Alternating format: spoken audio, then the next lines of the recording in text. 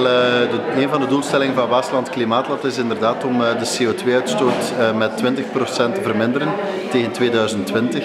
Nu, de gemeente kan dat niet alleen omdat wij maar verantwoordelijk zijn voor minder dan 3% van de CO2-uitstoot. Dus we hebben zeker de medewerking van de bevolking nodig.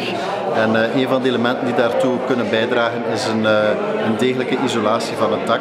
En het is daarvoor eigenlijk dat we deze groepsaankoop samen met Interwaas organiseren. Wel, wij uh, vragen prijs uh, bij aannemers en leveranciers voor de aankoop van verschillende materialen en voor het um, plaatsen en leveren en plaatsen ook van verschillende materialen. En dat zowel voor um, hellende daken, platte daken als voor het isoleren van de zoldervloer. U kan uh, volledig vrijblijvend inschrijven en het eenvoudigste gaat dat via onze website www.waaslandklimaatland.be samenaankoop dakisolatie. Um, u kan ook inschrijven via onze flyers. Deze flyer vindt u op uw uh, gemeentehuis. Uh, dat kan u ook daar afgeven en dan komt dat bij Interwaas terecht. Er zijn nog altijd de premies van Iandis, die blijven nog geldig tot eind dit jaar. Vanaf 1 januari gaat die premieregeling veranderen. Dus eigenlijk is de boodschap om uh, dit jaar zo snel mogelijk uw dak te, te laten isoleren. Ik denk uh, dat isoleren belangrijk is voor twee zaken. Enerzijds het verhoogt het, uh, het comfort in de woning.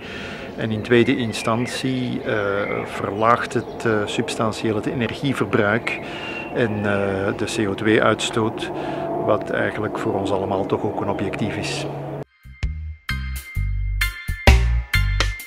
Synthetisch materiaal is eigenlijk het materiaal dat uit petroleum geproduceerd wordt.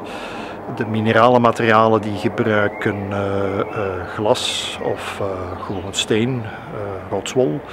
En de bio-ecologische materialen zijn eigenlijk materialen die natuurlijke producten gebruiken, die op een duurzame manier geproduceerd worden en eigenlijk ook kunnen gerecupereerd worden.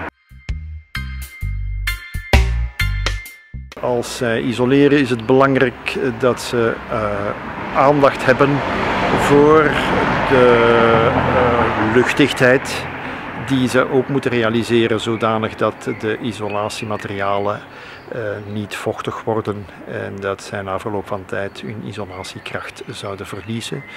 Um, waar zij ook aandacht voor moeten hebben is uh, uh, dat er continu geïsoleerd wordt, dus dat de isolatieplaten zeer zeer goed tegen elkaar aangelegd worden zodanig dat er geen luchtspoeling tussen de isolatiematerialen kan uh, gebeuren, waardoor eigenlijk de isolatiekwaliteit voor een stuk te niet gedaan wordt. U kan zelf uw isolatie leggen als u voor die punten uh, voldoende aandacht hebt. Uh, ik zou daar ook de nodige tijd voor voorzien. Ik zou echter niet zelf aan isolatie denken als het gaat over isolatie aan de, de buitenzijde van het gebouw, omdat daar toch wel wat, wat complexere randfenomenen zijn die eigenlijk als ze niet goed worden aangepakt problemen kunnen geven van waterdichtheid en dergelijke.